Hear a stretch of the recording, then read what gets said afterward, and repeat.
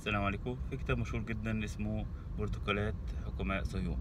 وقبل ما افتح الكتاب أتأكد من صحة الكتاب. في كتب كتيرة جدا منتشرة وتنسب إلى راجل معين أو شخص معين أو جماعة معينة بينما لا يصح نسبتهم ليهم لما تسأل أهل العلم يقول لك لا الكتاب ده آه، نسب للراجل دوت. الراجل ده ما كتبش الكتاب دوت ودس عليه أو بعد ما مات واحد ألف كتاب وكتب اسم الشيخ عليه وحاجات زي كده. طيب ال- الكتاب دوت نفس الفكرة. الف... كان في ثورة آه، روسية وعلى القيصر فالراجل المسؤول من الدولة حب إن هو. يشوه صورتها فعمل إيه؟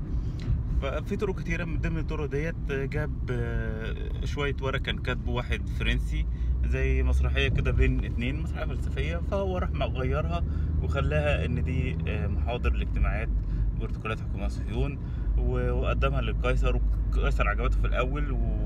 وقال لهم مشروع بعد كده اكتشف إنها مزيفة ف آه، رماها يعني ما بقاش يستخدمها. آه، الكنيسة الروسية برضو قالت إنها غير صحيحة. آه، كل ما تعرض على محكمة المحكمة بص ما فيش أي دليل على الكلام دوت والكلام يعني كل الأشياء تثبت كذبها. يعني إيه اللي خلاهم في روسيا يكتبوها بالفرنساوي؟ بينما هي المفروض تتكتب على الأقل بالعبري باللغة بتاعتهم. لانهم المفروض كلهم حخامات فعارفين اللغة ديت.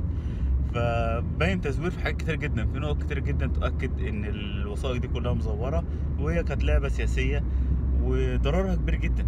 ضررها كبير جدا إن إحنا بنحس إن اليهود هم اللي بيعملوا كل حاجة. هم اللي عملوا 11 سبتمبر وهم اللي عملوا خرم الأوزون هم اللي دخلوا الجن وده حدث الطوبة. يعني كل حاجة تنسب ليهم بشكل خرافي. إن دول الأساطير ودول محدش يقدر يقف قصادهم.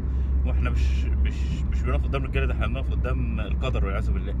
يعني حتى من أشهر الناس اللي كذبوا الموضوع دوت ولم يتطرق إليه آه، الدكتور عبد الوهاب المسيري. يعني عمل كتاب موسوعه عن اليهود ضخمة جدا ما ذلك ما اتكلمش عنها وده يؤكد إنها آه، أكذوبة. هو كان بيؤكد دايما في كل المحاضرات بتاعته إنها أكذوبة ومحدش يسمعها لأن ده هيسبب انهيار للروح المعنوية بتاعتنا في أثناء الحرب وإحنا ما عندناش غيرها غير الروح المعنوية. تمام؟ فنرجو التأكد من من صحة الكتاب قبل ما نقراه.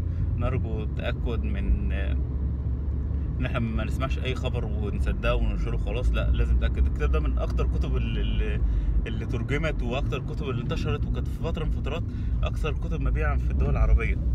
فمرة من المرات قابلت واحد هو اللي- اللي مترجم من ضمن المترجمين يعني هو ترجمة كذا ترجمة.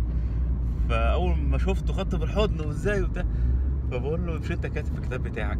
هو مستغرب ان أنا واخده بالحضن كده مش انت كاتب الكتاب بتاعك إن اللي بي- بيترجم الكتاب ده اليهود بيقتلوه على طول. يعني هم قتلوك. ما أنت اللي كاتب في الكتاب كده. وبعدين أشوفك حي يرزق قدامي ما أنا لازم اخدك بالحضن.